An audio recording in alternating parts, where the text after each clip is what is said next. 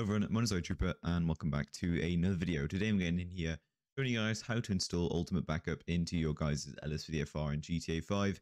Previous video was Stop the Ped, so I thought next in line would be Ultimate Backup, and it has been a while since I last did a video on this. So to install this, what you guys want to do is hit the first download link down in the description below. That'll bring you guys right here to the Ultimate Backup mod page.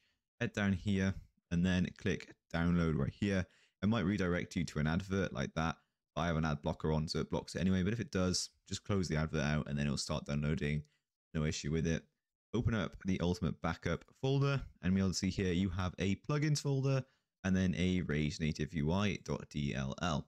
Now to install this, what you guys want to do is find your GTA 5 main directory. to do that, if you guys have Epic Games and Rockstar Games, your GTA 5 main directory and how to get to it will be down in the description below.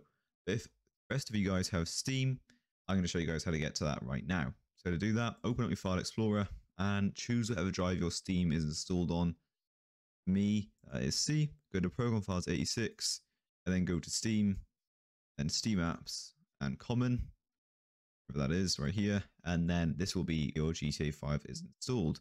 Unless, like me, you have it under a custom directory on a different drive, which is pretty much the exact same place, minus the Program Files 86. So once you guys are inside of your GTA 5 modder folder, what you guys want to do is grab your plugins folder and really easily drag and drop it into your game regarding that is your correct modded LSPDFR one. Obviously your requirements are going to be Rage Native UI, ScriptHook-V, and LSPDFR. But once you've done that, drag and drop it in. I'm going to ask you to replace it if you already have it, but I'm assuming most of you guys won't. If it does, then be sure to do so. But once you go into plugins, and then you go into LSPDFR, we're able to see here that you have Ultimate Backup successfully installed. Now, if you do want to configure it, you can go into the configuration settings file and open it with any notepad or word reader. I just use Notepad++. so It's really whatever you guys prefer.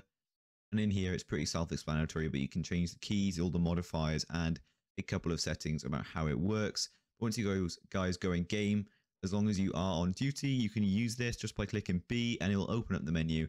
And it is really, really useful. So I definitely recommend downloading this mod. And if you guys did find this video useful, please be sure to like, comment, and subscribe. Comment down below what video you guys want to see next. Also check out my Patreon down in the description below for early and exclusive ad-free content on the Patreon. And also be sure to check out the channel sponsors Zap Hosting and use the code Highway Trooper, no capitals or spaces for 20% off all of your server hosting needs from FiveM to Minecraft.